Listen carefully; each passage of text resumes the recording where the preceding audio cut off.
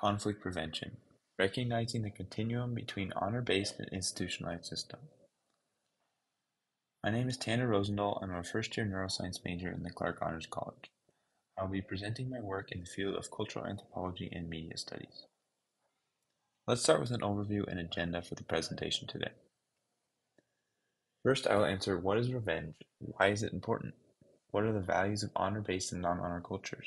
What are the consequences of isolating cultural norms as depicted in the Spanish tragedy? What is the significance of a cultural continuum in modern society? Revenge. Before we go further, I need to address and define revenge. Specifically, what is it and why is it important?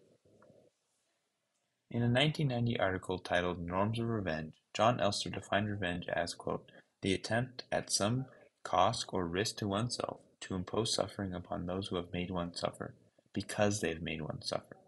It was this definition I used to guide my research. Elster makes the case that revenge has no tangible benefits. It comes at a risk or cost to the individual. For this reason, rational people avoid revenge when acting in their best interest. However, revenge is inevitable in a variety of ways, which is ultimately the result of failing to control an impulse of emotion. Despite revenge being an irrational behavior, its expression is strongly governed by social norms.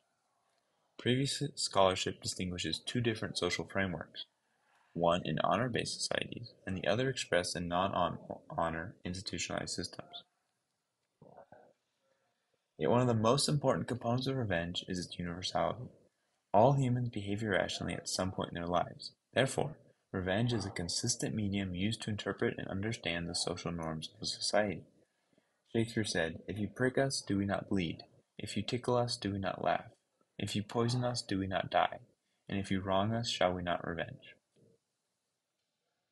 Now, of course, revenge exists on a spectrum. Displayed here are two examples of revenge between two civilians within the community. The left depicts poor parking, and the right takes revenge on a package thief.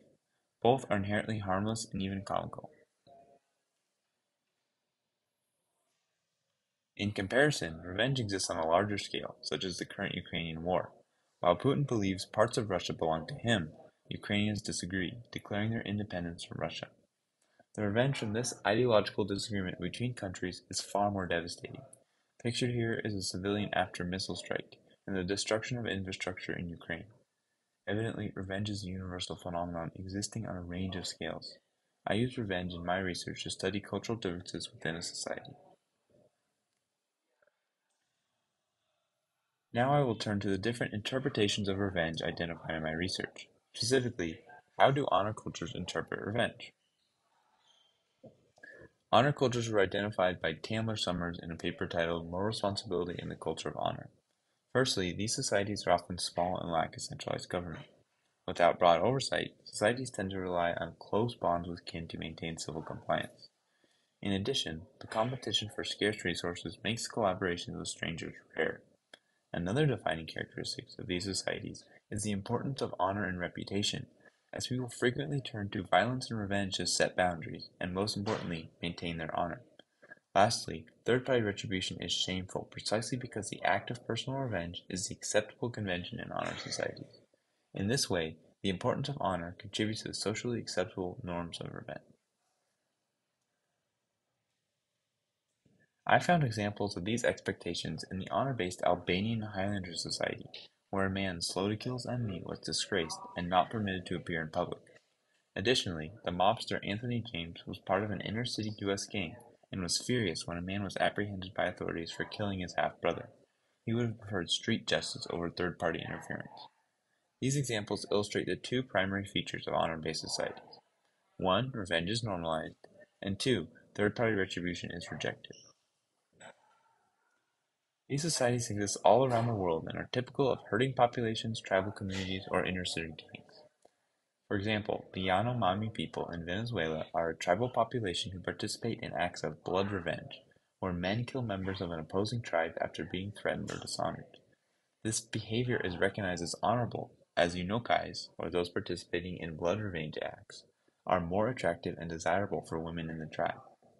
Additionally, Israeli and Palestinians are currently engaged in tense conflicts over the rights of their religious beliefs and borders. both of these cultures have characteristics of honor-based societies, as they celebrate personal sacrifice over third-party retribution. In the US, gangs such as MS-13, who Trump famously targeted in 2016, are built upon honor-based systems and their preference for street justice rather than police intervention. Now I'll move to the norms of revenge for non-honor and institutionalized systems, which are more recognizable for Western society. In contrast to honor-based cultures, institutionalized systems have economies built upon cooperation with others. Thus, there is significant collaboration between strangers. Secondly, private revenge is perceived as taboo and regarded as an act of primitive behavior. As a result, non-honor cultures rely on third-party systems to govern the norms and expectations of society. This is opposite from honor cultures. While the fundamentals of non-honor systems are opposite of honor-based cultures, the two share a desire for revenge. The only true difference is the pejorative connotations in Western society, resulting in softer words such as grievance, retribution, or justice used to describe the innate desire for revenge. These characteristics are once again familiar to Western societies. For example, Fox News recently paid nearly $800 million after Dominion Voting Systems filed a defamation lawsuit. This type of punishment is common in non-honor cultures, but not feasible or desired in small honor-based communities. Another example that illustrates the importance of third-party retribution is capital punishment, the ultimate price for crime in the U.S. Despite its controversy, this legal form of killing is permitted in over half the U.S. states and has been performed nearly 1,000 times since 2000, according to data from Statistica. This number is far lower than the revenge-related deaths in honor cultures. While third-party retribution is required for justice, private revenge is regarded as taboo and primitive. For this reason, people often turn to modern escapist entertainment in movies and literature with central themes of revenge. One example is the popular book, movie, and play Carrie by Stephen King, which depicts the destruction of a town after the revenge of a telekinetic teenage girl. These forms of media are entertaining because they permit what is otherwise unacceptable in society.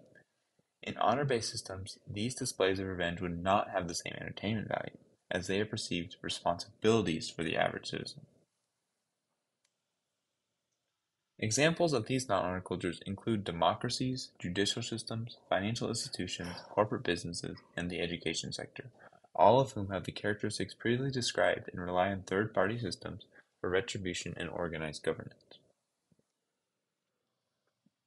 While previous anthropological work has separated honor and non-honor cultures based on their social norms, I argue this binary perspective, typical of Western cultures, is misleading. Instead, there exists a cultural continuum between honor-based and institutionalized systems, each intertwined and subtly influencing the other. My research suggests neglecting this continuum leaves a society prone to violence and civil defiance. To investigate this phenomenon, I used my understanding of honor-based and non-honor cultures to analyze revenge in Thomas Kyd's 1587 play, The Spanish Tragedy. In this play, a Spanish soldier named Andrea is killed in a battle fighting against the Portuguese forces. He returns from the underworld as a ghost, seeking revenge, and his actions result in the murder, suicide, and chaos, when neither institutionalized systems nor personal revenge satisfy his desires. This case study was used to investigate the consequences of institutionalized systems failing to recognize honor-based cultures and the cultural continuum previously defined. This play was the first in a genre called revenge tragedies, which were popular in the 15th to 16th centuries throughout the Elizabethan and Jacobean eras. The play reflected the strong Christian ideological values of the time, as God was perceived as the ultimate authority. In addition, kings and high courts were responsible for setting rules and punishing those who broke them. These qualities are characteristics of the dominant institutionalized system. There were also characteristics of honor-based cultures in the play. Private revenge, as nearly by nearly every character, reflects the importance of honor for those living in this era. This play was an excellent case study because the values of honor-based cultures subtly influence the larger institutionalized system. Indeed, this is similar to the modern composition of Western democracies, a larger governing body and oftentimes overlooked influences of honor cultures within the U.S. By incorporating components of both institutionalized and honor-based system, Thomas Kyd critiques the conventional binary approach to maintaining order. In the play, Kyd mocks God by creating a character named Revenge, who haphazardly judges the characters in the afterlife. Kyd also highlights the disorder and chaos when characters take revenge into their own hands, as nine are killed throughout the play. In this way, the Spanish tragedy suggests neither institutionalized systems nor personal revenge in isolation are capable of maintaining order. The consequence of this binary perspective regarding governance is violence and chaos. While this may be true in the 16th century, how is it relevant today? I suggest respecting cultural diversity and recognizing this cultural continuum is key to preventing conflict, maintaining civil compliance, and encouraging social cohesion in Western society. Take, for example, the recent emphasis on socioeconomic diversity in school and the workplace. Respecting the range of opinions in both of these scenarios is necessary for a healthy, vibrant, and productive environment. Another application is through the diversification of culinary choices. Food is required for life and unites us all. If we acknowledge the spectrum of cultures living within the U.S. by providing a range of cuisines, we can create a more inviting and welcoming community. Media and artistic expression are yet another example. Each individual and culture perceives beauty differently. Acknowledging and celebrating these differences contributes to a more cohesive environment. Beyond these small changes, respecting the cultural continuum can reorient foreign policy. Western cultures are often blinded by ethnocentrism, assuming other cultures want and need our help. If we stop to understand the cultural values of foreign countries, we can implement policies that are more likely to be successful. For example, we've long struggled to gain a foothold in Iraq. This failure is a result of not understanding the moral motivations for citizens of this honor-based culture. In addition, domestic legislation can be modified to recognize the sub-honor cultures within the U.S.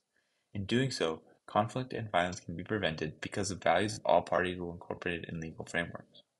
My research suggests respecting the cultural continuum can prevent conflict, maintain civil compliance, and most importantly, encourage social cohesion in Western society.